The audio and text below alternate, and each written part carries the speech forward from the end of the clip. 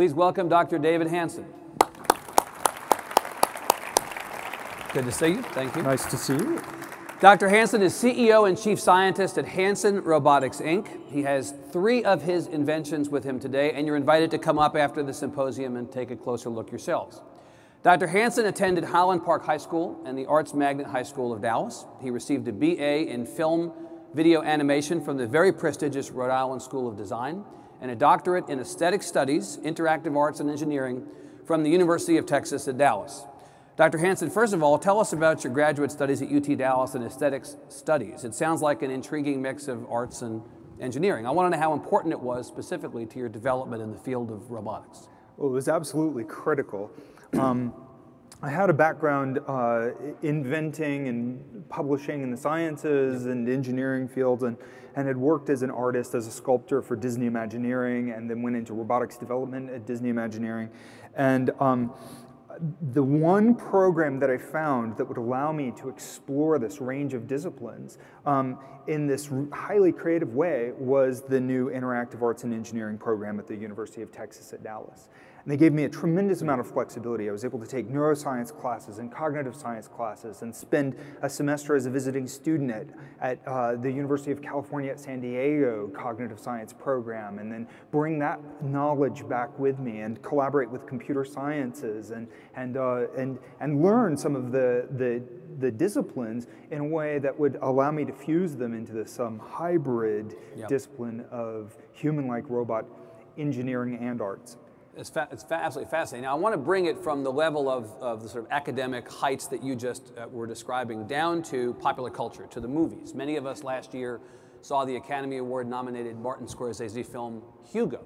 Sure. And in, in, Hugo, the boy's dad, if you've seen it, tells him about an old automaton he's discovered in a museum attic. And he says, Magicians used machines like this when I was a boy. Some walked, some danced, some sang, but the secret was always in the clockwork. This fascinated me when I saw it, and I'm hoping you can tell us about the clockwork in your own robots. How sophisticated are they? And is there something you're doing that hasn't been done before?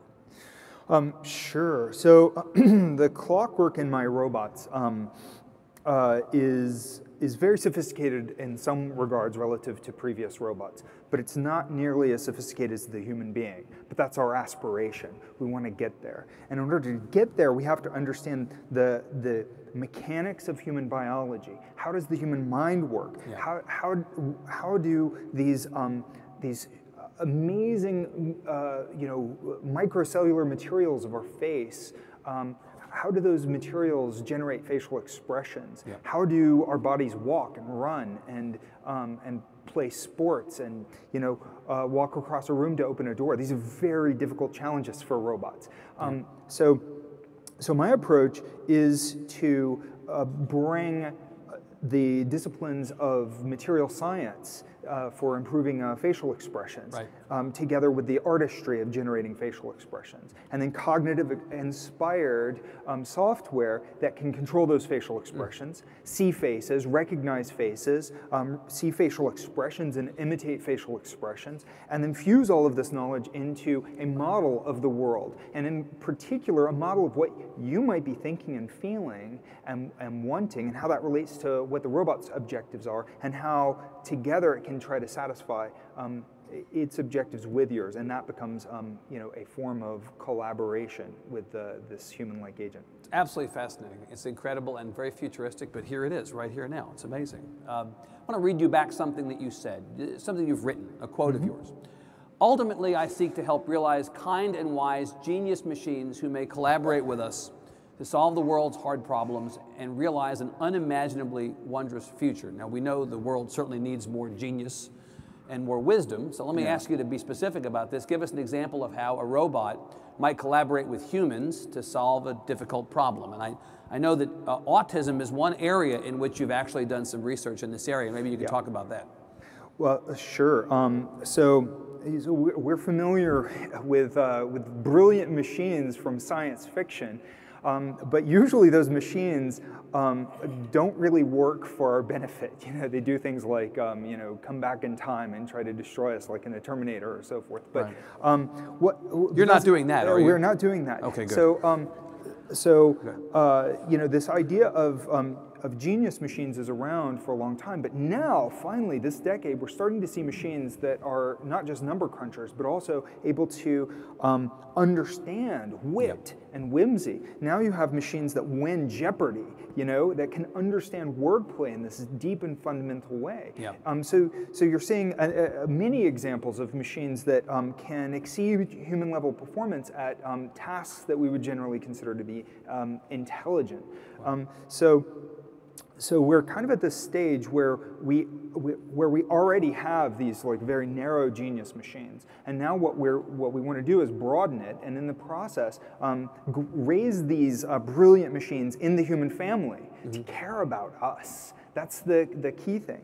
So in some of the research that I've done, we've taken some of our human-like robots with the conversational interaction, the ability to see facial expressions, and we've tested them with children with autism spectrum disorders. And the results are, are really pretty amazing. Hmm. I mean, the, the kids um, laugh and show affect and, um, and, and then ask about the machines afterwards. And, you know, the robots wow. are, are, uh, in particular, our Zeno robot and our Alice robot. Um, and so these, uh, these interactions um, perhaps uh, uh, can be uh, an effective treatment uh, pathway yeah. um, for training social skills, and that's what we're exploring now. We're developing curriculum for this for this particular purpose.